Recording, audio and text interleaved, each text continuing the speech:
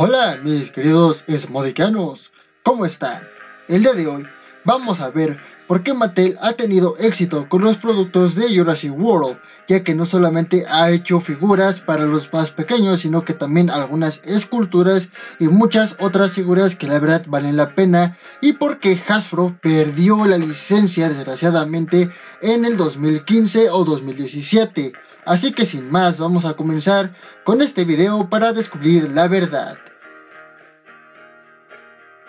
Recordemos un poco el pasado, ya que en las primeras entregas de Jurassic Park, The Lost World y Jurassic Park 3, tanto Kenner como Hasbro se habían hecho cargo de las figuras de la franquicia, algunas de ellas consideradas unas obras maestras, masterpiece de los dinosaurios, algunas que fueron muy queridas por los fans y que aún hoy en día cuestan demasiado conseguirlas y también hay que mencionarlo, hay aquellas figuras que la verdad no tuvieron un buen molde o simplemente no estuvieron a la altura de otras grandes figuras.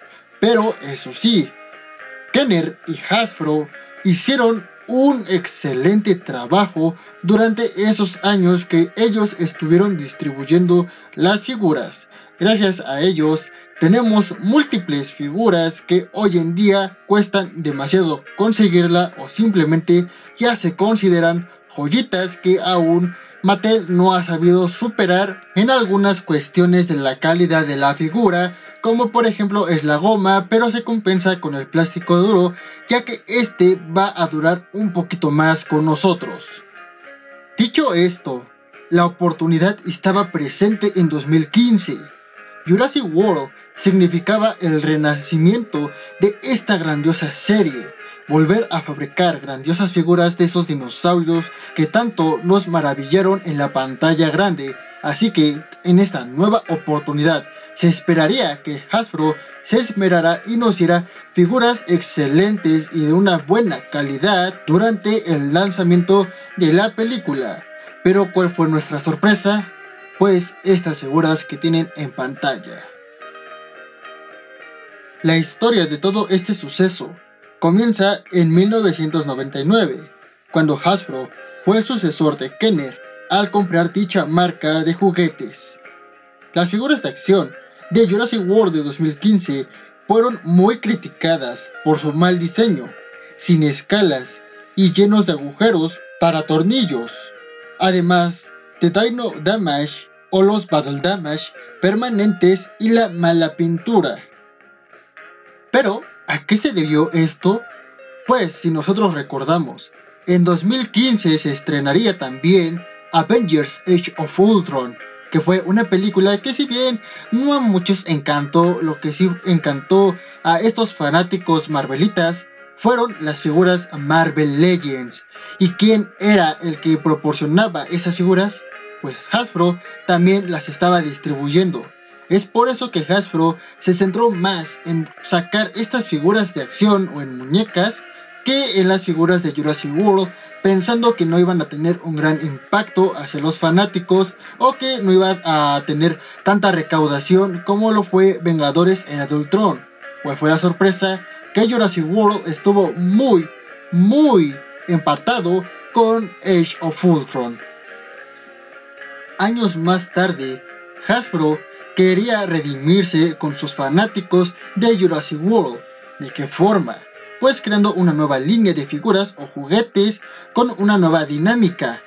Pero, desgraciadamente y para mala fortuna de Hasbro, esa línea de juguetes fue la gota que derramó el vaso, pues fue debido a las malas críticas hacia esta última línea de juguetes de Hasbro, la Jurassic World Dino Hybrids y su mala distribución que la licencia de la franquicia pasó a manos de Mattel en 2017. Y si bien estas figuras no están basadas en los dinosaurios vistos en la película de Jurassic World, sí podemos decir que es una línea basada en un videojuego, en el videojuego más popular de esos años, Jurassic World The Game. Jurassic World Dino Hybrid es una línea de juguetes lanzada en 2016 que presenta principalmente dinosaurios híbridos modificados genéticamente. muchos de los cuales aparecen en Jurassic World Again. Puede verse como el sucesor espiritual de la línea de juguetes de Kenner de Jurassic Park de 1997, la Chaos Effect. Tiempo más adelante, antes de que se estrenara la película, Mattel había anunciado que sería la nueva distribuidora de la franquicia, y muchos estábamos con bajas expectativas respecto a las figuras que iba a presentar dicha empresa. Pero, Mattel, al contrario de Hasbro, al lanzar sus figuras de acción, respetó las escalas, tuvo variedad de figuras humanas y una fiel escultura a los personajes de la secuela. Los dinosaurios tienen una excelente articulación y detalle, además de una clara y mejor calidad. Creo que más variedad de series hay, como la Attack Pack, que son diversas figuras de dinosaurios de tamaño mediano, entre los cuales destacan personajes como Blue, el Stygimoloch, el Dilophosaurus o el Dimorphodon. También tienen la Battle Damage, que son figuras articuladas medianas con el daño de batalla en el costado clásico, la Action Attack, figuras más grandes con acción de ataque, las cuales resaltan especies como la Carnotaurus, Stegosaurus y la Suchomimus. Los Rarivores, figuras electrónicas de tamaño mediano. La Legacy Collection, una línea exclusiva de Target que representa escenas de la anterior trilogía e impresionantes figuras de la icónica Rexy, la Tyrannosaurus Rex además de presentar una figura muy grande de la Mosasaurus que recuerda a las de Kenner. Además de tener una figura super articulada del villano híbrido, el Indoraptor. También lanzó figuras de 12 pulgadas y una figura de T-Rex super colosal. Pero no conforme con ello, Mattel incluyó una app llamada Jurassic World Facts en la cual se puede escanear una etiqueta con un icono de ADN en las patas de los pies de cada figura de dinosaurio y obtener datos curiosos y representaciones en 3D del dinosaurio escaneado.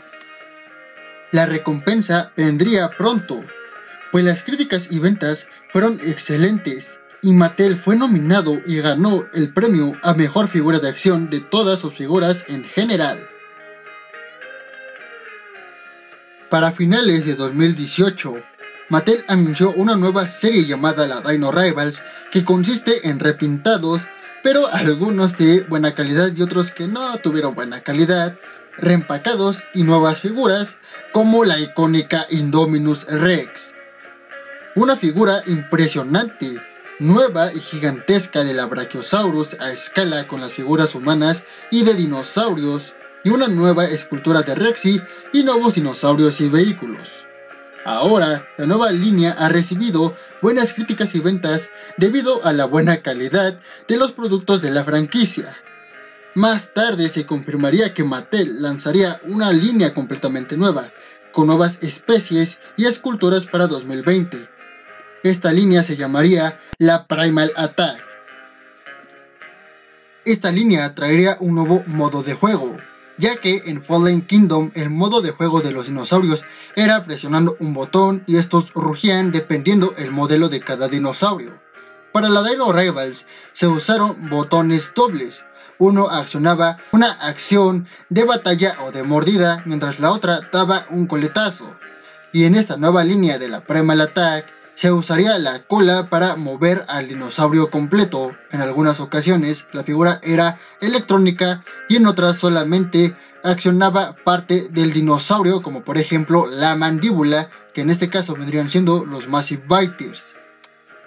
Según lo planeado, se esperaba que Mattel continuara la franquicia con Jurassic World Dominion, pero desafortunadamente por la pandemia se tuvo que atrasar la película pero por suerte de los fanáticos, tuvimos la serie Camp Cretaceous, que por fortuna Mattel volvió a hacerse cargo y nos trajo nuevas figuras que la verdad estas podría decirse o considerarse que fueron las mejores que hubiéramos tenido, ya que tenemos a la Epic Roaring, la Tyrannosaurus que hoy en día se considera la mejor Tyrannosaurus de Mattel.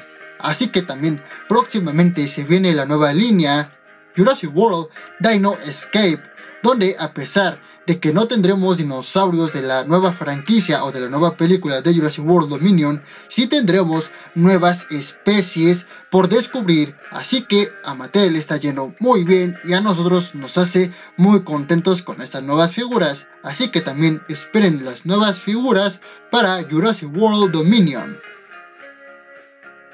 Y bueno, mis queridos esmodicanos, esto vendría siendo parte de la historia del por qué Hasbro fracasó y Mattel tuvo éxito con las figuras de Jurassic World, que la verdad es que están muy muy buenas.